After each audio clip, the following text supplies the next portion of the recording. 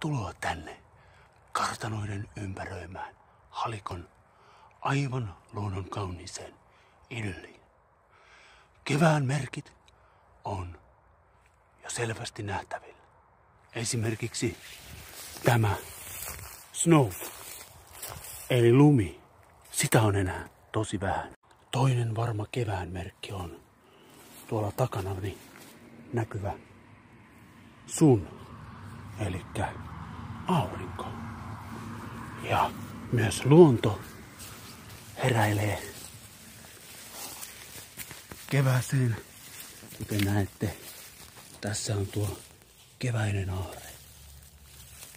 Leskenlehti. Sitten on se asian nurjempi puoli. Kun kevät on edennyt niin pitkälle, että lumet ovat lähes jo sulaneet, paljastuu maastosta esimerkiksi tämänkaltaisia esineitä. Sitten on vielä, vielä suurempia ongelmia. Tässä taustalla näkyy automobiil, joka on selkeästi enemmän ympäristöjätöstä, eli roskaa, tai siis tää on ihan paska auto.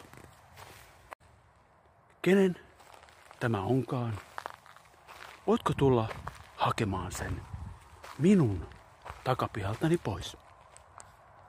Toisaalta ihmisen evoluutio on ollut nopeaa, häikäisevän nopeaa. Ja miksi se on sitä, ihminen on keksinyt tulen. Tämäkin ympäristöjäte palaa kyllä ihan komeasti. Haluatteko nähdä?